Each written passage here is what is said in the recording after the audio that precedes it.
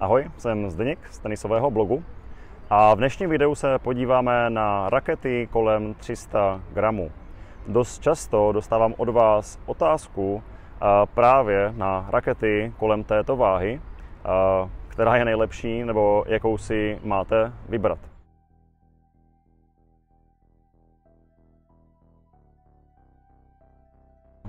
Váha 300 gramů nebo rakety s váhou 300 gramů jsou takové průměrné a hraje s nimi, myslím si, že většina nebo velké množství rekreačních hráčů. Takže se dneska podíváme na některé z nich. Vybral jsem ty, které jsou podle mě nejlepší a na závěr vás čeká opět jeden extra tip, tak vydržte až do konce. Pokud by vás moje keci nudili, tak přetočte na konec. Jak jsem zmiňoval, tak rakety s váhou 300 gramů jsou takové univerzální a zvládne v podstatě každý trošku pokročilejší rekreační hráč, který už má zvládnutou techniku úderu a nemá problém s bolestí ruky. I když, jak jsem zmiňoval na blogu v článku, když z tenisu bolí ruka, tak bolest ruky obvykle lehčí raketa nevyřeší. Je opravdu potřeba zapracovat na té technice. Ale ve výčtu dnešních, nebo v dnešním výčtu raket najdeme i jednu, která je vhodná pro ty, které už začíná bolet ruka. Při výběru rakety je potřeba brát zřetel nejen na váhu samotné rakety, ale i na její vyvážení. Například raketa, která váží 315 gramů, ale má vyvážení 305 gramů, tak se pocitově bude zdát ovladatelnější a dokonce i lehčí než raketa, která váží třeba jen 305 gramů, ale má vyvážení 330 mm, tedy hodně do hlavy. Tímto videem rozhodně nemám ambice vybrat tu nejlepší raketu s váhou 300 gramů a vlastně to vůbec nejde. Protože každý má jiný styl hry, někdo hraje útočně, někdo obraně, někdo dává úderům hodně rotace, někdo hraje údery spíše napřímo. Záleží také na míčích, na výpletu, na psychickém rozpoložení hráče, na současné formě, počasí a mnoha dalších věcech. Však to znáte. Takže v tomto videu prezentuju své pocity z těchto raket, které jsem opravdu zkoušel, ale jak říkám, každému sedne něco jiného. Rakety jsem rozdělil podle stylu hry, na který jsou vhodné. No a začneme tím ne mnou úplně oblíbeným stylem a to je takzvaný obranářský, který je plný přeliftovaných úderů od základní čáry. No a jakou jinou raketu nezmínit jako první než eh, Babolat Pure Aero, neboli Nadalovku. Eh, je známá, má lehká averze vůči věcem od Babolatu, ale tuto raketu jsem zkoušel loni a musím uznat, že je opravdu skvělá je neskutečně stabilní a přesná a to i přesto, že má větší hlavu. Ale jak říkám, je dělaná na přeliftované údery a ta větší hlava tím pádem dává smysl. A opravdu skvělá raketa na tento styl hry si myslím, že je ta nejlepší, nebo nenapadá mě žádná jiná, která by se s ní mohla srovnávat. Nedávno jsme se sportobchodem testovali Head Extreme, novou verzi, a ty jsou hodně podobné. Taky je potřeba hodně liftovat, hodně dávat míčkům spin a, a potom se odmění maximální přesností a kontrolou. Ale kdybych si osobně měl vybírat, tak rozhodně sáhnu po této Babolat Pure Aero. Opravdu skvělá raketa. Dalším stylem hry je takzvaný celodvorcový pestrý tenis, který vyznávají takzvaní ručkaři anebo hračičky. Ti základní údery dost často proloží třeba kraťasem anebo i přechodem na síť. A pro tento styl hry jsem vybral dvě rakety. Jednou je mezi rekreačními hráči hodně oblíbená Yonex E-Zone 100 a druhou je stejně barevná Babolat Pure Drive. Právě tuto babolatku jsme nedávno pro Sport Obchod testovali a jak zmiňuji v recenzi, kterou opět najdete na mém blogu, tak jsem byl z rakety hodně nadšený. Zkoušel jsem tu předchozí verzi, ta mě překvapila svou snadnou ovladatelností a tato nová verze k té úžasné ovladatelnosti přidává i hodně energie, stability a kontroly. A opravdu skvělá raketa.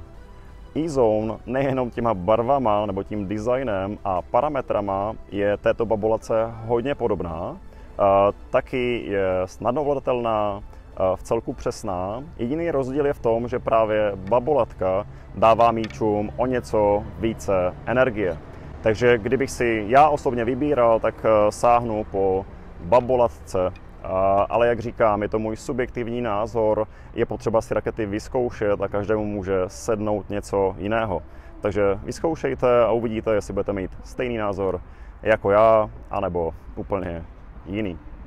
Posledním stylem hry je takzvaný útočný. Eh, těch raket tady mám nejvíc, asi nejspíš proto, že sám se o tento styl hry pokouším. A začneme Wilson Blade. Tento současný model mě osobně úplně nesedl. Eh, ten předchozí model byl přísný, náročný, ale odměnil se neskutečnou přesností. Tento nový ale je mezi nejenom rekreačními hráči, ale závodními hráči velmi oblíbený. A to z toho důvodu, že je o něco pružnější, takže odpustí nějakou tu nedokonalost fooderu a navíc míčkům dává hodně energie a také spinu. A to nejenom v té verzi s pletením 1619, ale i v té verzi 1820. Raketa dává opravdu hodně energie, takže pro ten agresivní styl od základní čáry je skvělá. Jak říkám, já bych si osobně nevybral, i když Wilson nemá oblíbená značka, ale vím a mám ověřeno, že mnoha hráčům sedí a nedivím se jim. Další raketou pro tento útočný styl hry je velmi oblíbená raketa Head Speed MP. Letos jsme testovali tu novou verzi a ta mě hodně nadchla. Toto je ta starší teda. Ta novější verze má v sobě novou technologii Grafen 360+, Plus a je to opravdu znát. Ty míče z té rakety lítají opravdu rychleji a dostávají i více spinu, ale pořád je zachovaná přesnost a v celku snadná vladatelnost. Proti zmiňované Wilson Blade Eh, není ten rám tak pružný, takže je potřeba opravdu mít celku rychlý švih zápěstím. Ale jinak je to opravdu skvělá raketa a doporučuji.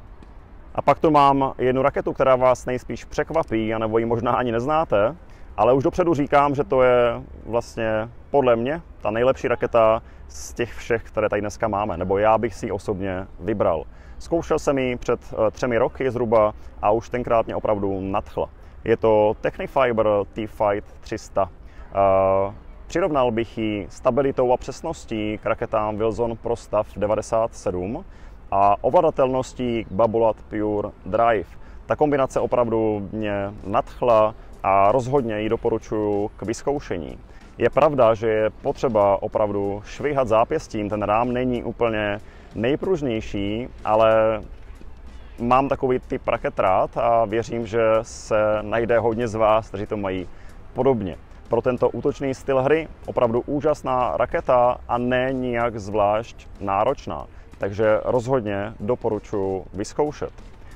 Hodně podobná, ale o něco těžší, 305 gramů, je tento loňský model uh, z řady Technifiber TF40 s označením 305 Uh, opět hodně, hodně povedená raketa. Uh, ty Technic Fibry obecně uh, jsou bohužel takové přehlížené a je to hrozná škoda. Ty rakety Technic Fibru jsou opravdu skvělé a rozhodně je chyba se jim vyhýbat. Tato raketa opět neskutečně stabilní a přesná, ale oproti té T-Fight 300 dává míčům přece jenom víc energie. Ovšem, kdyby bylo na mě, tak já spíš si vyberu právě tu 300 gramovou verzi, která je snáze ovladatelná. No a v současné době uh, Technifiber představil novou verzi této rakety, kterou budu za pár dní testovat, tak jsem hodně, hodně zvědavý. No a pak tady mám jednu raketu, která nezapadá v podstatě do žádné z těchto škatulek. Možná poznáváte, je to Wilson Clash opět recenze na blogu, kde ji vychvaluju. Je to inovativní raketa z loňského roku a opravdu nedá se srovnat s žádnou jinou raketou. A vlastně ji doporučuji všem rekreačním hráčům, kteří tak nějak neví, kterou raketu si vybrat. Ten rám rakety je opravdu hodně pružný, takže odpustí nedokonalosti při úderu, míčům dává hodně energie, dává i hodně spinu a na druhou stranu díky té technologii je pořád v celku dost stabilní. Na to, jak je ten rám pružný, tak té stability tam je, stability tam je opravdu hodně. Mám tady verzi Wilson Clash 100, která má váhu 295 gramů a vyvážení 310 mm. Díky těmto parametrům je neskutečně snadno ovladatelná. Ale vůbec bych se nebál jít do verze, která má 310 gramů a vyvážení 306 mm. Opravdu tím vyvážením je snadno ovladatelná a zvládne i rekreační hráč. A přece jenom ta větší váha zajišťuje větší stabilitu a více energii míčům. Tato raketa je také vhodná pro ty, které třeba už bolí ruka. Díky tomu pružnějšímu rámu, tak e, může to být takový předstupeň před zdravotními raketami. Pokud tam použijeme ještě navíc výplet Luxilon Smart, jako je tady, tak už ta kombinace opravdu je velmi, velmi pohodlná a tu ruku to bude šetřit. Takže to byl výčet podle mě těch nejlepších raket kolem váhy 300 gramů. Bohužel nemám přístup k raketám od Dunlopu nebo Prince, takže v této nabídce nebo v tomto seznamu nejsou. A ještě jednou musím zopakovat. Jsou tu rakety, které jsem měl možnost vyzkoušet a které podle mě, podle mých pocitů z hry s nimi jsou nejlepší nebo které sedly mně. Opravdu záleží na mnoha faktorech, na výpletu, na míčcích a každému sedne něco jiného. Takže doporučuji, vyzkoušejte a uvidíte, jestli máte stejný názor jako já, nebo ne. A na závěr onen zmiňovaný extra tip. V těchto dnech sportobchod slaví 18. narozeniny, takže je vlastně plnoletý. No a k této příležitosti připravil velkou slevovou akci, ve kterém najdeme i tenisové vybavení. Například za super ceny můžeme pořídit rakety Technifiber T-Fight 300 nebo TF40 315 a mnoho dalších. Je tam zhruba 150 produktů od tenisových raket přes kluba výpletů, tenisáky a mnoho dalšího. Takže pod videem najdete odkaz, který vás dostane právě na tuto akci, kde si můžete vybrat.